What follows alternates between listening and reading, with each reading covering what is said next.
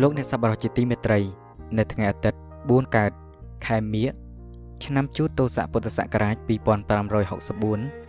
ត្រូវនឹងថ្ងៃទី17ខែមករាឆ្នាំ2021ពុទ្ធបរិស័ទជាច្រើនមានសទ្ធាជ្រះថ្លាក្នុងការបំពេញបុណ្យនិងថ្វាយបង្គំពុទ្ធស្ថាននានានៅក្នុងវត្តប្រាសាទស្រះកណ្ដាលខ្ចាស់ដែលបានអញ្ជើញមកពីគ្រប់មជ្ឈដ្ឋាននានាដោយឡែកនៅក្នុងថ្ងៃនេះមានពុទ្ធបរិស័ទអញ្ជើញមកពីរាជធានីភ្នំពេញចំនួន2ក្រុម ពុទ្ធបរិស័ទអញ្ជើញមកពីខេត្តបាត់ដំបងចំនួន2ក្រុមនិងពុទ្ធបរិស័ទអញ្ជើញមកពីខេត្តបន្ទាយមានជ័យចំនួន2ក្រុមពុទ្ធបរិស័ទអញ្ជើញមកពីស្រុកមង្គលបុរី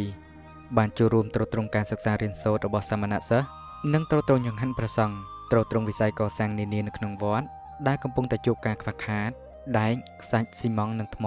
ព្រមទាំងសម្ភារៈផ្សេងផ្សេងទៀត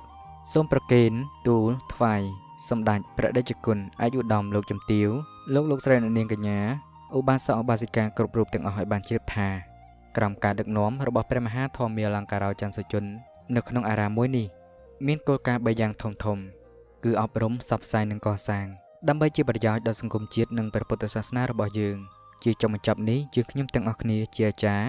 គណៈកម្មការសូមជូនពរពុទ្ធបរិស័ទទាំងអស់បានជួបប្រទះនឹងពុទ្ធពរទាំងឡាយ4ប្រការគឺអាយុវណ្ណៈសុខៈពលៈកំបីគ្លៀងគ្លាតឡើយសុខោបញ្ញសៈឧចយោ ការសន្សំបុណ្យរំលែងនាំមកនូវសេចក្តីសុខសូមអរព្រះគុណនិងសូមអរគុណ thank you